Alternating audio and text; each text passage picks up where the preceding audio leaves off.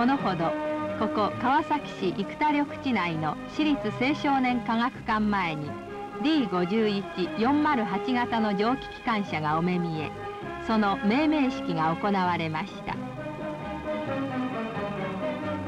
デコちゃん号と命名された機関車の前には良い子たちが大勢詰めかけこの名前を付けて教育長から記念品を受けるお友達にたくさんの拍手を送っていました。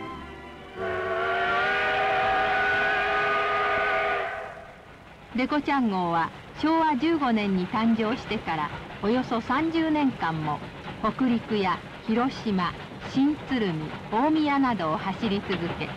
その距離はなんと地球を35周もしたのです。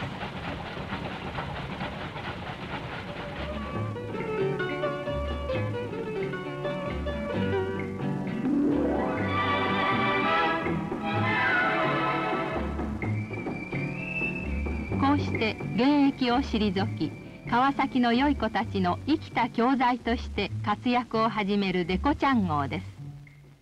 皆さんデコちゃん号をどうぞよろしく。